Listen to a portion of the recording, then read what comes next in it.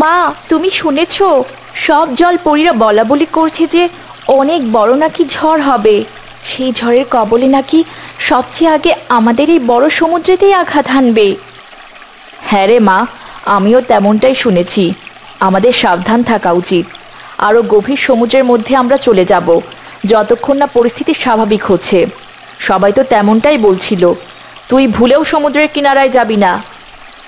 আচ্ছা মা তুমি কোনো চিন্তা করো না, আমি সমুদ্রের কিনারায় যাব না।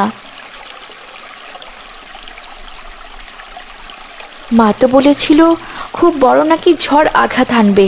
যাই, একটু কিনারায় যেয়ে দেখে আসি, ঝড় হলো নাকি।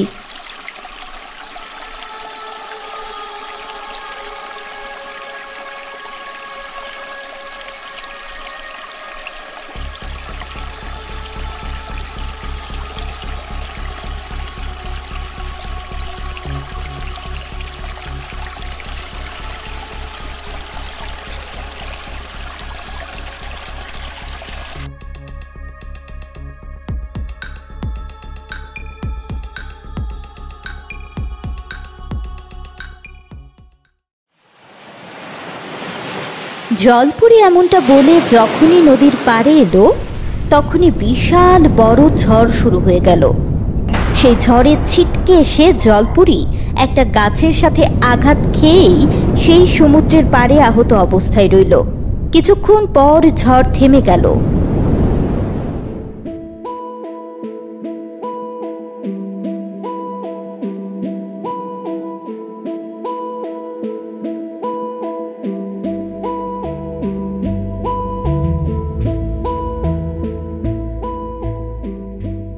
ভালোই ঝড় হয়েছে আজকে।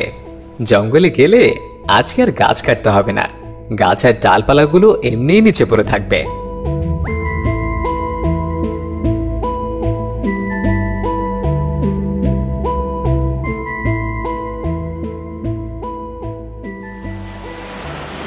কৃষক এমনটা বলে যখনই সমুদ্রের পাড় দিয়ে জঙ্গলের মধ্যে যাচ্ছিল তখনই সে জলপুরিকে দেখতে পেল। আরে নদীর কিনারে জল পরি আছে। আমি তো এসেছিলাম কাঠ সংগ্রহ করতে, আর এখন সোনার খনি পেয়ে গেলাম। এই জলপুরিকে নিয়ে বাজারে খুব চড়া দামে বিক্রি করতে পারব। এত বড় জলপুরিকে আমি কীভাবে নিয়ে যাব? টেনে ছিত্র হলেও তো আমাকে নিয়ে যেতে হবে।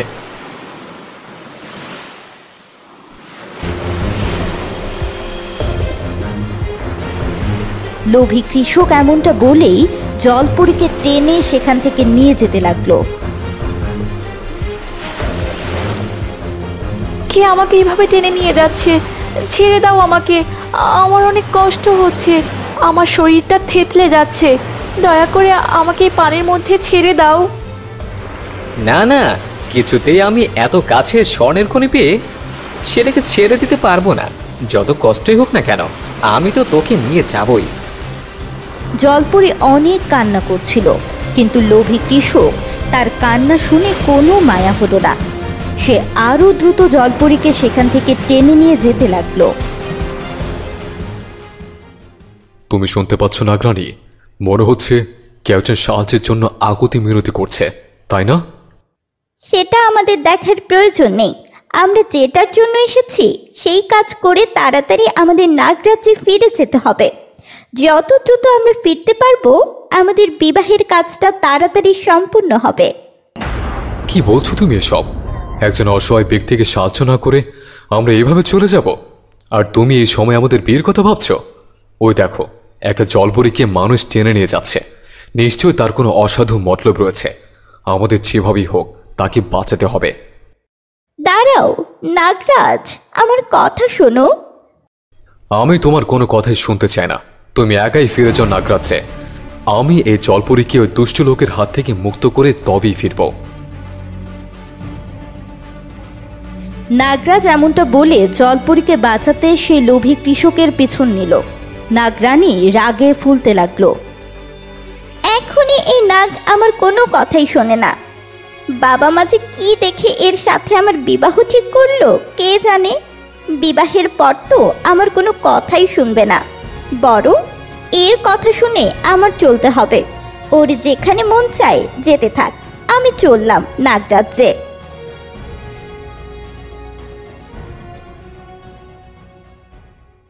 কেন তুমি এই জলপরীকে এখান থেকে টেনে নিয়ে যাচ্ছ? ছেড়ে দাও তাকে। সে জলে থাকে। তাকে জলে থাকতে দাও। কে তুই? তোর কথা আমি কেন শুনতে যাব? বুঝেছে।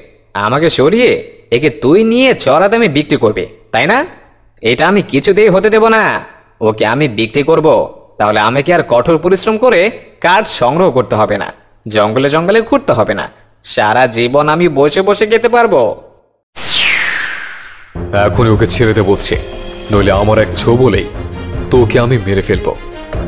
ওরে বাবারে এ তো দেখছি নাগরাজ। এখনই পালাই।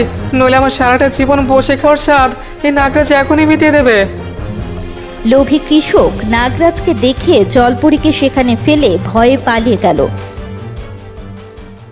জলপরীকে এভাবে টেনে আনার কারণে জলপরী নিজের জ্ঞান হারিয়ে ফেলে। তাকাও জলপরি চোখ খোলো ভয় পেও না। দুষ্ট কৃষক এখান থেকে পালিয়ে গেছে। নাগরাজ অনেকবার তাকে ডাকলো কিন্তু জলপরী চোখ খুলল না। হায় হায় আমি কি তাহলে জলপরীকে বাঁচাতে পারলাম না? না না এটা হতে পারে না। চোখের সামনে এইভাবে আমি জলপরীকে মরতে দেখতে পারি না। নাগরাজ নিজের মানুষ রূপ ধারণ করল। তারপর জলপরীকে নিজের কোলে তুলে নিল। মনে হচ্ছে পানির অভাবে জলপরীর এমন অবস্থা হয়েছে। আমার যত দ্রুত সম্ভব সমুদ্রের কিনারে যে তাকে পানিতে ডুবিয়ে দিতে হবে। এতে যদি সে নিজের শক্তি ফিরে পায়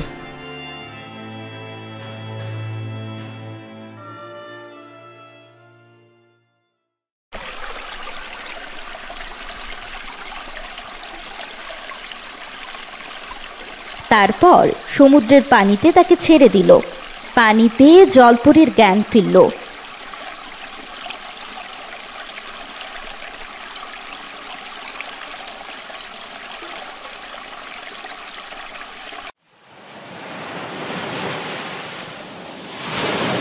তুমি নাগরাজ, তাই না? তুমি না থাকলে আজকে আমার প্রাণ হারাতে হতো? ওই লোভী কৃষক তো আমাকে মেরে ফেলতো। তুমি আমাকে বাঁচালে। কি বলে যে তোমাকে ধন্যবাদ দেব? এভাবে বলো না। আমি তো শুধু তোমাকে সাহায্য করেছি মাত্র। এটা তো আমার দায়িত্ব ছিল। তুমি ভালো থেকো। আমি আজকে চললাম। নাগরাজ এমনটা বলে চলে যেতে লাগল আর সে নাগরাজের চলে যাওয়াটা পেছন থেকে দেখতে লাগল। কত সুদর্শন এই যুবক আর কত ভালো মনের মানুষ। তারপর জলপরি পানির মধ্যে হারিয়ে গেল।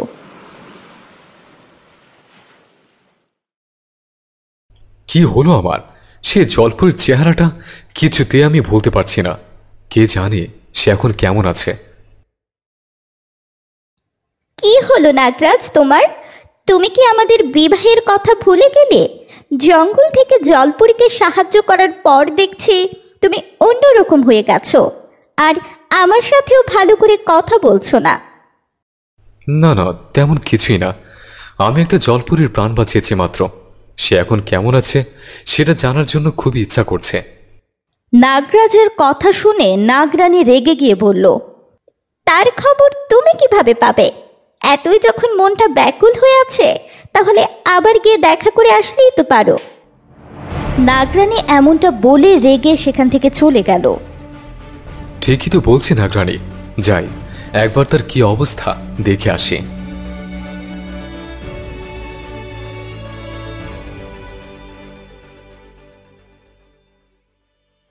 জলপুরি আবার নদীর কিনারায় উঠে আসে। নাগরাজ, কালকে আমাকে সাহায্য করেছিল। আজকেও তো আবার এই পথ দিয়ে যেতে পারে। কিছুক্ষণ অপেক্ষা করে দেখি।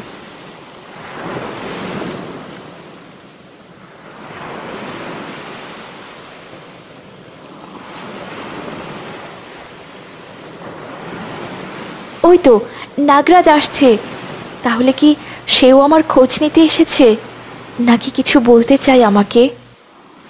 জলপুরি নদীর কিনারে উঠে আছে কেন? তুমি এখানে কিছু কি ভুলে রেখে গেছো নাকি? না না কিছু রেখে যায়নি। কালকে তোমার অবস্থা অনেকটাই খারাপ ছিল। তাই ভাবলাম তোমার কি অবস্থা একটু খোঁজ নিয়ে আসে। কোনোভাবে কি আমরা বন্ধু হতে পারি? তুমি হলে নাগরাজ আর আমি হলাম গভীর সমুদ্রের জলপরি। তোমার সাথে আমার বন্ধুত্ব হলেও আমরা কখনো এক হতে পারব না। এভাবে তাদের দুজনের মধ্যে কথা হচ্ছিল। তখন আড়াল থেকে নাগরানী সবটা শুনতে পেল। নাগরানী তাদের এই বন্ধুত্ব কিছুতেই মেনে নিতে পারছিল না। সে আরও হিংসায় ফুলতে লাগল। কবে থেকে বিবাহের জন্য আমি নাগরাজকে বলছি? কিন্তু দেখো, সেদিকে তার কোনো নজর নেই। সে পড়ে আছে এই জলপুরীকে নিয়ে। আমাকেই কিছু একটা করতেই হবে। যাতে এই জলপুরীর কাছে আমার নাক কখনোই আসতে না পারে। আমি তোমাকে কথা দিচ্ছি। আমি রোজ আসব তোমার সাথে দেখা করতে। আচ্ছা আমিও তোমার জন্য অপেক্ষা করব। কোথায় চললেন নাগরাজ? তুমি আমার পিছু কেন নিচ্ছ? আমি কোথায় যাব কি করব না করব সেটা দেখার দায়িত্ব তোমার না। এমনটা বলে নাগরাজ চলে গেল জলপুরীর সাথে দেখা করতে।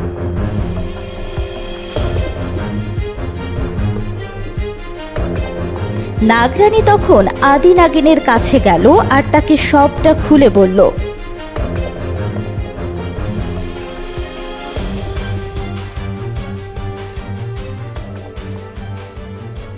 তোমার কথা যদি সত্যি হয় তাহলে নাগরাজকে কঠিন শাস্তি ভোগ করতে হবে। আপনার যদি বিশ্বাস না হয় তাহলে আপনি আমার সাথে চলুন। নিজের চোখেই সবটা দেখে আসবেন। আদি নাগিনকে নিয়ে নাগরানী চলল সমুদ্রের পাড়ে। তখন জলপুরি আর নাগরাজ কথা বলছিল। নাগরাজ, তোমার এত বড় স্পর্ধা নাগরাজ হয়ে কিনা তুমি এই জলপরির সাথে বন্ধুত্ব করো? এর শাস্তি তোমাকে পেতেই হবে।